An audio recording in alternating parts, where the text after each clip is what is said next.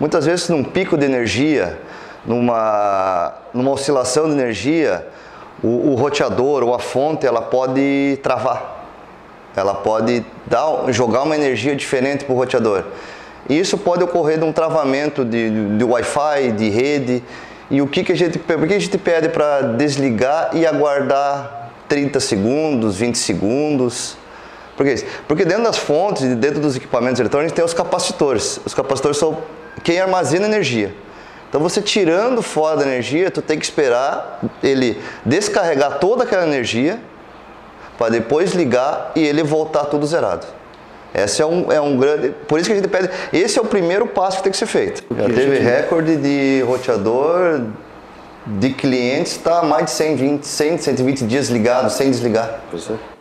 Estamos falando aí mais de três meses de um equipamento ligado 24 horas por dia.